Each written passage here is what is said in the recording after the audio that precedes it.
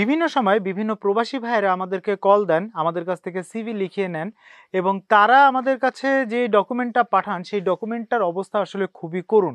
আমাদের দেশ থেকে যখন বিদেশে মানুষ কাজ করতে যায় এবং এদের একটা বড় অংশই যায় হচ্ছে ওয়ার্কার অথবা ডে লেবার হিসেবে কাজ করার জন্য সো তাদের আসলে কোনো প্রফেশনাল সিভি বলতে কোনো কিছু থাকে না। তাদের যে ডকুমেন্টটা থাকে সেটা খুবই যাচ্ছে না তাই টাইপের একটা অবস্থা থাকে। ইভেন তাদের অনেকে ঠিকমতো বলতেও পারে না যে তারা আসলে কোন অর্গানাইজেশনে কবে থেকে কবে পর্যন্ত কোন পদে কাজ করেছে, এটাও তাদের অনেকে বলতে পারে না। বলতে যেহেতু পারে না সো এটাকে টাইপ করে, সুন্দর করে লিখে প্রেজেন্ট করে আরেকটা কোম্পানিতে দেওয়া, এটা তো বহু দূর দূরকা বাদ। সো এটার মাধ্যমে যে সমস্যাটা হয় যে তারা কিন্তু অনেক বেটার স্কোপ মিস করে।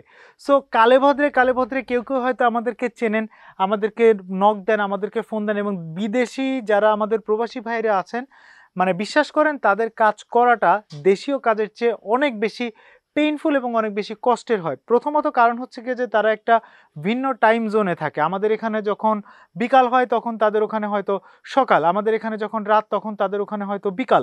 সো এই যে ভিন্ন টাইম ফ্রেমে থাকার কারণে একে তো তাদের সাথে মিটিং করা, তাদের কাছ থেকে ইনফরমেশন নেওয়া, এগুলো আমাদের একটা সমস্যা আছেই এর বাইরে আরও যেটা সমস্যা হচ্ছে কি যে তারা নিজেরা ঠিকমতো বলতে পারে না, তাদের কোনো প্রিভিয়াস ডকুমেন্ট থাকে না। যেই ডকুমেন্টে তারা লিখেছে যে তারা আসলে কোন কোম্পানিতে কোন পদে কবে থেকে কবে পর্যন্ত কি কি কাজ করেছে সেইটা। অনেকে বলতে গেলেও ইনফরমেশন আগে পিছিয়ে করে ফেলে। ইনফরমেশনগুলোকে যে সিকোয়েন্সিয়ালি বলতে হয় ক্রোনোলজিক্যালি যে বলতে হয়, এইটা অনেকে বলতে পারে না। এটা বলতে গিয়ে অনেকে তালগোল পাকায় ফেলে। দেশের বাইরে গিয়ে অনেকে দেখা যায় তিন মাস এখানে কাজ করছে, তিন মাস ওখানে কাজ করছে, চার মাস এখানে কাজ করছে, ছয় মাস ওখানে কাজ করছে। যার কারণে ক্যারিয়ারটা দেশের বাইরে গিয়ে তারা স্টেবল করতে পারে নাই। এখন তাদের ওখানে জায়গায় জায়গায় গ্যাপ পড়ে যায়। ওয়ার্ক পারমিট নিয়ে নানান রকমের গ্যাঞ্জাম হয়। তা, তারা কি করে? তারা একটু কোনোটা ডিউরেশন কমায়, কোনোটা ডিউরেশন বাড়ায়, বাড়িয়ে একটা মানে ভুল কিছু একটা তৈরি করার চেষ্টা করে করে তারা আরও বড় রকমের বিপদে পড়ে। সো প্রবাসে যারা আছেন, তাদের সবাইকে রিকোয়েস্ট করব, প্রথমত তো প্রফেশনাল সিভি অবশ্যই তৈরি করিয়ে নেবেন এবং যারা প্রবাসে যাওয়ার কথা ভাবছেন, তাদের জন্য এটা বেশি গুরুত্বপূর্ণ। প্রবাসে যাওয়ার আগেই দেশে থাকতে আপনার আসলে স্কিলগুলো কি কি, কোন কোন জবে আপনি অ্যাপ্লাই করবেন, কোন কোন জবগুলোতে আপনি ভালো করবেন, আপনার আসলে কোন কোন জবে অ্যাপ্লাই করা উচিত এই ব্যাপারগুলো আপনার এজেন্সির সঙ্গে কথা বলে ভেরি ক্লিয়ার হয়ে যাওয়া উচিত হ্যাঁ?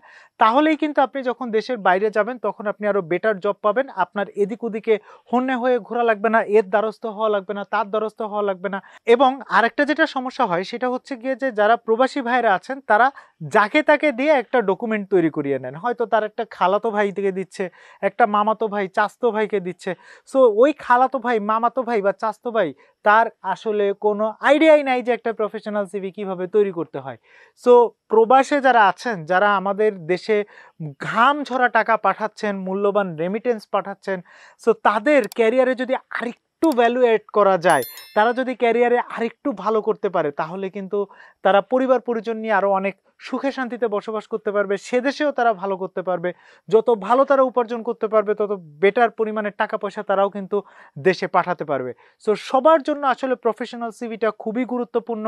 কে কোন কোম্পানিতে কাজ করছেন, কবে থেকে কবে পর্যন্ত কাজ করছেন, কোন কোন পদে কাজ করছেন, এই সমস্ত ইনফরমেশনগুলো যদি আপনি সুন্দরভাবে সাজিয়ে প্রকাশ করতে পারেন, তাহলে সেক্ষেত্রে কিন্তু আপনার ইন্টারভিউ কল পাওয়ার সম্ভাবনা বহুগুণে গুণে বেড়ে যায় এবং প্রবাসে গিয়েও আপনি আরও অনেক সুন্দর, সচ্ছল এবং নিরাপদ জীবনযাপন করতে পারবেন। ধন্যবাদ।